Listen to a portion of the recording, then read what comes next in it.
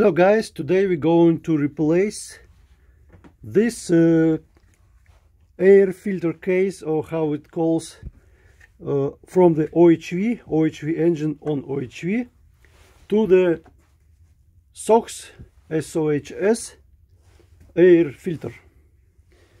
The reason I do it is because here in Russia these filters you see I already took off this hose and this filter. It's uh, hard to find in 2022 and uh, it's really costs a lot. So it's kind of rarity in Russia now and uh, I don't wanna use this crap anymore.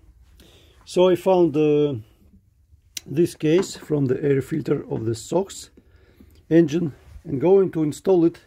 You see I already installed filter inside and there is no paper. It's uh, some material. It's kind of it prevents the dust come into here but it's really light and has no so even it, it's kind of clog a little bit. So it's like a, like a zero zero air so now I'm going to disconnect this wiring and uh, somehow get rid of this crap.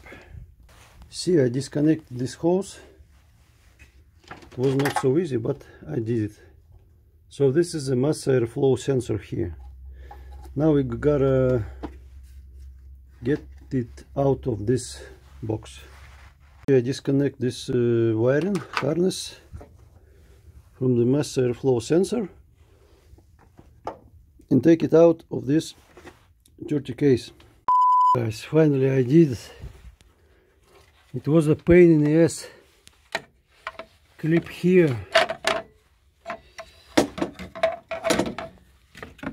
Couple of here. One I destroyed because it's impossible to get it out. And uh, you see there's a clamp here and this rubber rubber crap this intake I pull out this crap because it's really this case is really too big. And I wonder how it's gonna fit, fit here. Now I'm going to try with one with two hands. So guys uh, with a lot of effort I pre-installed this. And the difficulties is because uh, this vacuum line is interfering. Guys so you gotta you gotta loosen this shitty, shitty light so you gotta loosen this.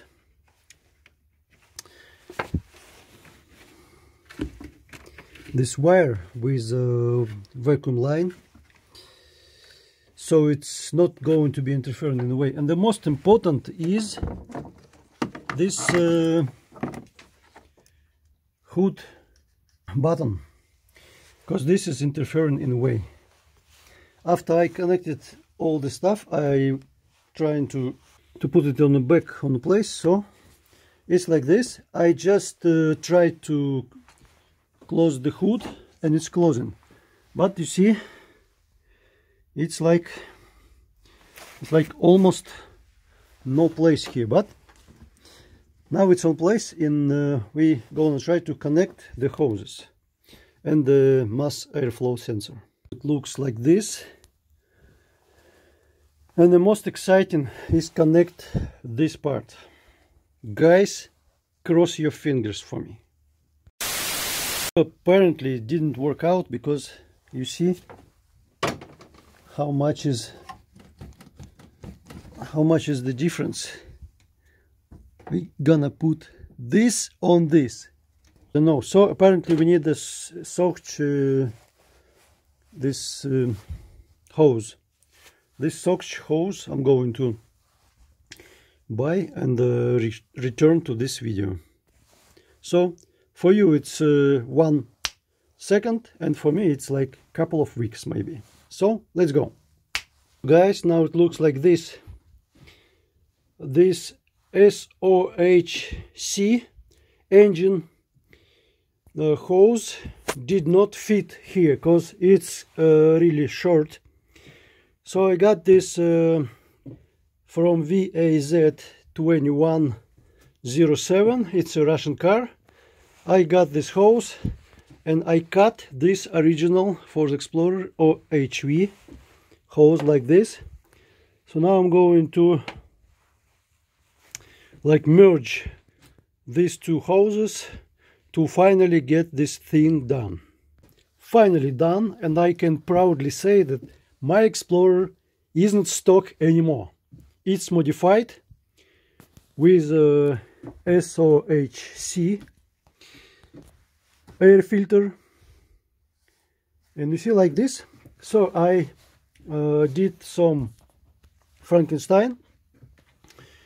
This is a merging of two hoses and sealed with RTV sealant and the ventilation and the sensor is stays on place here made a hole.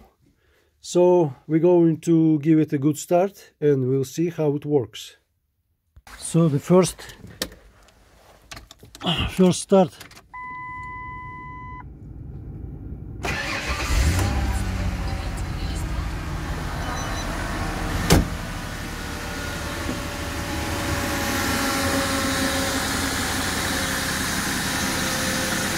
Hey! It works! Sucking air, working.